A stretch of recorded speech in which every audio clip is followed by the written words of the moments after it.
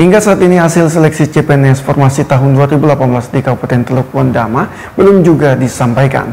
Untuk itu Bupati Teluk Wondama berharap agar seluruh peserta bisa bersabar karena hasilnya akan disampaikan seluruh pengurusan administrasi selesai dilakukan oleh BKD SDM Teluk Wondama.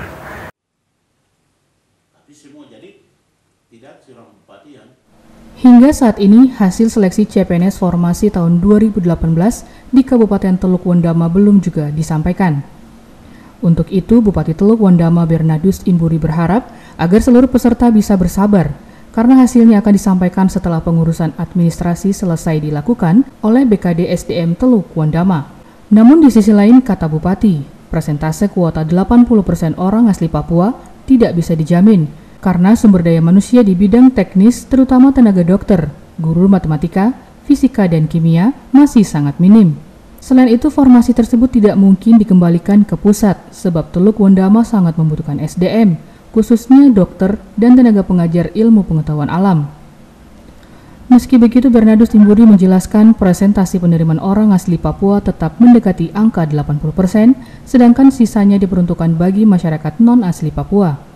Bupati berjuang untuk itu. Kalau ada bocoran dari bupati lain, karena mereka mungkin lebih dulu menyampaikan, saya baru hari ini, tetapi tidak setiap bupati berjuang untuk hal itu. Semua bupati dan gubernur pun mengkoordinir kami dan untuk itu. Untuk itu. Saya mau kasih gambaran saja.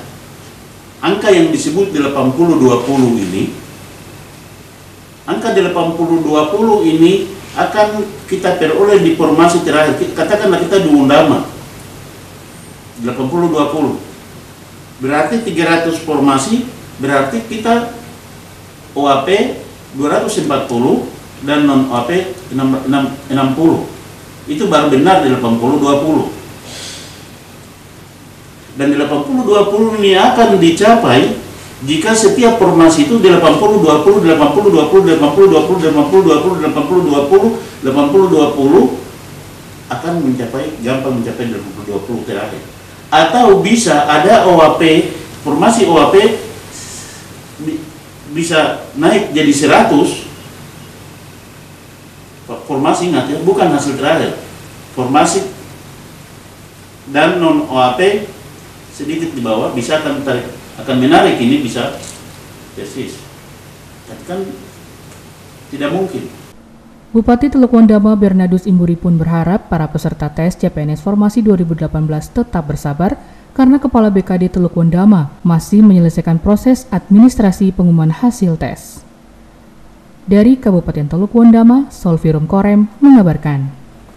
Tunggu hasil tesnya